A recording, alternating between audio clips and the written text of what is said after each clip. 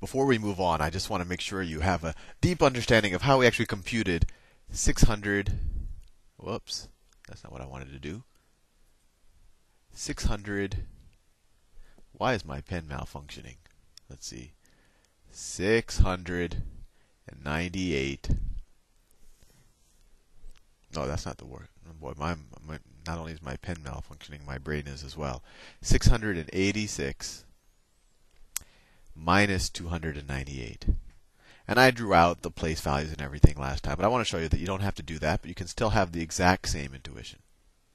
So the way you should do this type of problem, and in a few videos we're going to start doing this with four-digit numbers, and that's why I want to make sure you have you understand it properly with three-digit numbers, is you you know, and the way I did it last time, I said, oh, well, you know, first I have to subtract in the ones place, and I have an eight here and a six here, so let me get some tens from the tens place, and then I, you know, this became. But what I want to show you is you can actually do all of the regrouping or all of the borrowing, depending on how you want to call it, although I like to call it taking, ahead of time rather than borrowing because you don't give it back. So, how do we think about it? So, in order to do any subtraction problem, you just have to make sure that the number on top is bigger than the number on the bottom, right? So, for example, in the hundreds place here, and we're not going to negative numbers yet, just yet. Well, you'll learn that in a couple of years, or if you're especially advanced, maybe even faster. But we see here that in the hundreds place, this number is lower than this number, so that's cool. But then when we go to the tens place, what happens here? This 9, which represents 90, that's bigger than this 8, which represents 80. Right? So how can we subtract 90 from 80? And you'll learn later that that'll give you a negative number and all of that. But we want to stay in positive numbers, so we have to have a, a number larger than 90 here, and we only have 80 here, we only have 8 tens. So what we can do is we have 600 right here, right? This 6 represents 600s. So let's take one of them. So we'll take so we'll take one of the 600s and we're left with just 500s. But now we have 100 to play with. And let's put those hundreds in the tens place. Well, 100 is how many tens? 100 is 10 tens, right?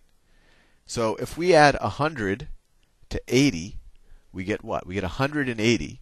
But if we write that as tens, that's 18 tens. So this becomes 18 tens. Right? Let me and, and I really want you to understand I don't want you to just do this mechanically. I really want you to understand what's going on here. When we took when we took this 6 and turned it into a 5, we took 1 from the hundreds place. 1 from the hundreds place represents 100. So when you take that 100 and represent it in the tens place, it becomes 10 tens, right? 100 is 10 tens. So we have 8 tens, and we add 10 tens to it, so then you get 18 tens. Right? That one, me, all I'm saying is that 100 becomes 10 tens. Right? 10 times 10 is 100. And we added those 10 tens to the 8 tens that we already had here, we got 18. So now the 5 is greater than the 2, 500 is greater than 200. 18 tens, or 180, is greater than 9 tens, or 90. But then here we have 6 is smaller than 8, so we're not done yet. So what can we do? How can we add more ones here? Well, we could take a 10 from here. We could take a 10 from here and then and then put it into the ones place. So let's take a 10 away. So we're going to take a 10 here. So we only have 17 tens left, right? Because this is the tens place. So 110 is equal to right? You can almost use this as a ten dollar bill, right? We had 18 ten dollar bills. Now we took one of those ten dollar bills, and we have 17, and so that equals one. Uh, that equals 10 ones, right? A ten dollar bill is equal to 10 one dollar bills, and so we took one ten from here, and then we can put it into the ones place. So we have 10 more ones. So then this becomes well, we had six, or you know, we could say six dollars, and now we're going to add 10 to it, so we're going to add 16.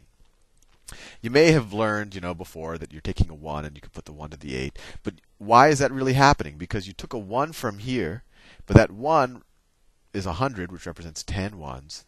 Uh, sorry, that 1 is 100, so it represents 10 tens. So 10 tens plus 8 tens was 18 tens. And then similarly, we took a 10 from here, and so we have 17 tens. And then a, and then we took that 1 10, turned it into 10 ones, and added it to the 6. I'm probably confusing you, but hopefully you're getting the intuition. So now we're in a situation where the 5 is greater than the 2, the 17 is greater than the 9, and the 16 is greater than the 8. And so we're ready to subtract. And we can do it in any direction we want to. We could start from the left and go to the right. We could start from the right and go to the left. Let's, I don't know, since it's a little unconventional, start from the left. What's 500 minus 200? What's 300? Right? Because we're in the hundreds place. What's 17 tens minus 9 tens? So that's the same thing as 170 minus 90 right? Well, that's 80 or 8 tens. Or you could say 17 minus 9 is 8. And then finally, what is 16 minus 8? Well, that's just 8. So there you have it. That was the problem we just did, and hopefully that clarified things a little bit. So let's move to the next problem. So problem number five, and on the same page, it's taken me 20 minutes just to stay on the same page. A man, an unnamed man, that's kind of suspicious, a man sold 230 balloons. Balloons at a carnival in the morning. That's kind of that's kind of unimportant information. We don't have to know that it was at a carnival in the morning. That's just there to c- confuse you. So I'm just going to write that a man sold 230 balloons. And I don't care where he sold it or what time he sold it. He, it then says he sold he sold another 86 balloons in the evening. Once again, I don't care what, what I'll say. In, so this was in the morning, in evening.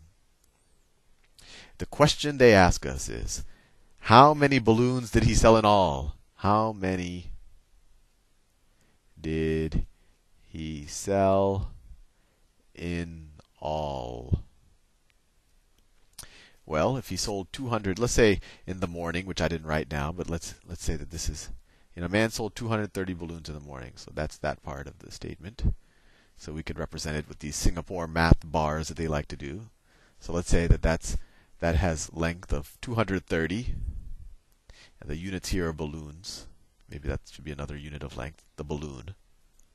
That's 230. And then it says he sold another 86 in the evening he sold sold another 86 in the evening. So let's use one of these Singapore math bars.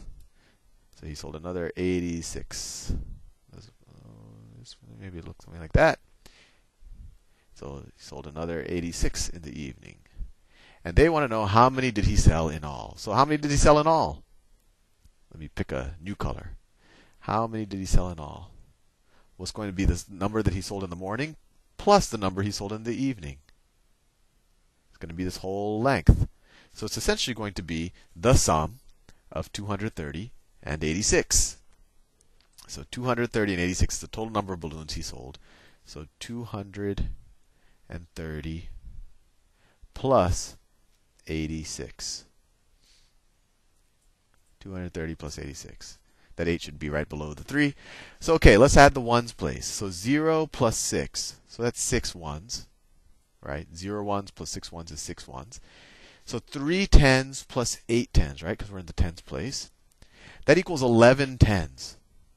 Right? But 11 tens, we can't write it. We can't write 11 right here in the tens place. So what we do is, so you know this three this three plus eight, that's the same thing as 30 plus 80, right? Because we're in the tens place. And we know 30 plus 80, you know, that equals 11 tens equals 110. But we can't write 100, we can't write 11 here. 11's not a digit. So what we could do is we could take 100 of this and turn it and and and turn it into one. So this is you could view it as 100 plus 10, right? Or you could view it 1 in the hundreds place and a 10. So what we can do is let's just put the 1 10 down here and then the hundreds place, and you might have learned this, is you know carry the one, put it up here, right? Kind of you know when I was learning math in elementary school, they would say, oh, three plus eight is eleven, so put the one down, carry the one. But essentially, what you're doing, you're saying 30 plus 80 is 110, and 110 is 100 and 110. So we're putting the 10 down here because that's the tens place, and then the 100 we're adding to the hundreds place. So that's what carrying the 1 really is, and I want you to have that intuition. Although, you know, if you just said carry the 1, it's really easy. 3 plus 8 is 11. Carry the 1. And now we have a 1 in the hundreds place. This is 100 plus a 200. That equals 300. So 316. That's how many balloons the unnamed man sold in all at the carnival. I will see you in the next video.